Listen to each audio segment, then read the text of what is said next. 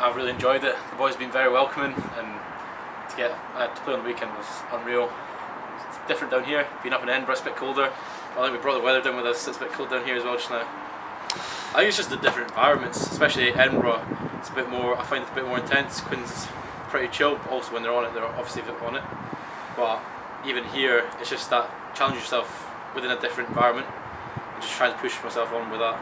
Yeah, it was a bit of a surprise to come on so early, but to I was glad to do it. I really enjoyed myself and to challenge myself at this next kind of level. Fuck it, I really enjoyed it. Yeah, I'm really looking forward to it. Something to really, again, just challenge yourself, work with the boys, and try to get a decent outcome. Hopefully, we can get try to get a win as well. Away from home would be good. I think it's just sticking to our processes. We talked a lot about it last week. It's kind of just sticking to our processes, kicking game, exits, making sure we're just keeping it long. But then just staying to that and not going away from it because when we went away from it is when we actually notice we got punished.